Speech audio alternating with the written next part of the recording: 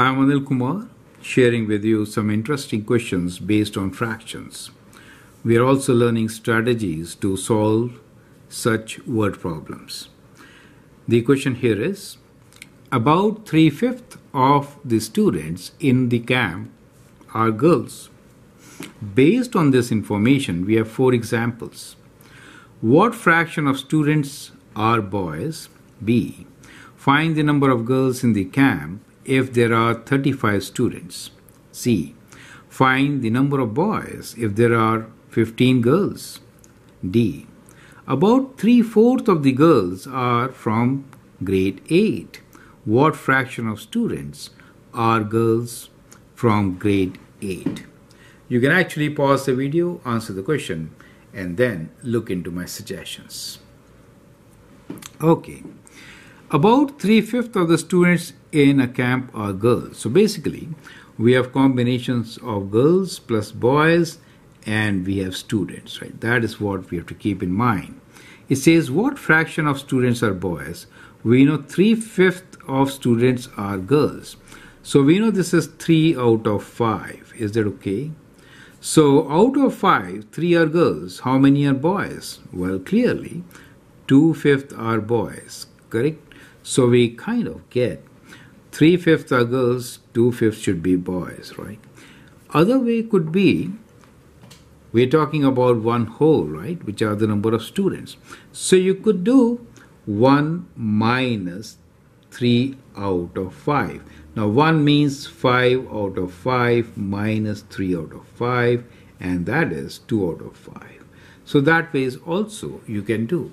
So learning how to take away fractions from a whole number helps you to solve this question. B. Find the number of girls in the camp if there are 35 students. Well, we know 3 fifths of. Of means multiplication, right? So, of means to multiply. So, 3 fifths of 35 are girls. So, we do 3 fifths means 3 out of 5 and the term of means multiply 35 correct. So so 3 fifth times 35 so that is 5 goes 7 times and you get 21 right? How do we get 21 you can divide both by 5 so 5 goes 7 times. 7 times 3 is 21 right? So we have 21 girls correct so out of 35 we have 21 girls. Rest are boys. Find the number of boys if there are 15 girls. Now, this is a different question, which says find the number of boys if we have 15 girls. Well, we just learned that three fifths of the students are girls. So, 15 are girls, how many are boys? So, how can we figure this out? So we know out of students, we have the ratio of girls to boys as 3 is to 2, right? So if there are 3 girls, then there are 2 boys. Here, we have 15 girls. So how many boys? That is the question for you. We have 15 girls. We need to figure out how many boys. Well, if you look into ratios, then it is times 5, correct? 5 times 3 is 15 and therefore times 5 should give you 2 times 5 as 10 boys. Does make sense to you? So that is an easy way of finding out how many boys if you know how many girls are there and we know the ratio of girls to boys 3 is to 2 right 3 out of 5 2 out of 5 so the ratio is 3 is to 2 does make sense to you, right? So basically, we are saying that if we have a ratio of girls to boys to students, it is 3 2, right? Which is equal to 5. So we worked on this ratio to get the solution. Okay. Part D. About three fourths of these girls are from grade 8. What fraction of students are girls from grade 8? So this is related to what is given to us, right? Don't forget that. So what we are given here is 3 fifth of students in a camp are girls, right? So 3 fifth are girls. About 3 fourth of these are from grade 8. So times 3 by 4. So we get what?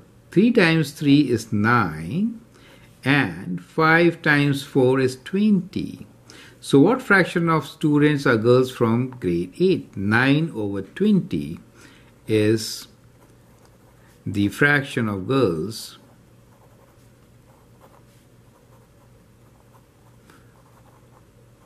from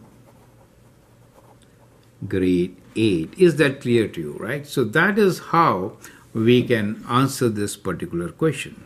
Now the alternate method would have been we're talking about out of 5 and out of 4. So we can think about a number 20 and then work out how many are girls and what is 3 fourth of those many girls. You get the idea, right? So if we start with a number of 20, right, then 3 fifth of means 3 by 5 of 20 is what? So 5 goes 4 times, that means there are 12 girls, right? Now, out of 12 girls, 3 fourth are from grade 8. So we are saying 3 by 4th of 12, which is 9 girls. Do you see that? So we started with 20, so 9 out of 20 we got. So that is the second way of looking into the solution of this question. So I hope this strategy is clear. So there are always more than one way to solve a question. Feel free to adopt the way or the method which suits you. I hope one of them works. Feel free to write your comment, share your views, and also look into more videos in this playlist to master these techniques. Thanks for your time and all the best.